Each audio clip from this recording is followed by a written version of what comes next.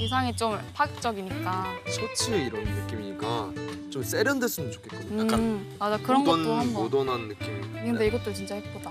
이거 진짜 오빠랑 잘 어울려.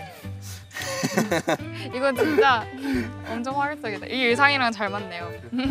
아 그래도 되겠다. 오빠가 단추 한 몇 개 풀어헤치고. 점점 강해지는 거 아니야? 아 근데 난 뭐 과한 것도 와. 좋아. 나 솔직히 말해서. 맞아 맞아.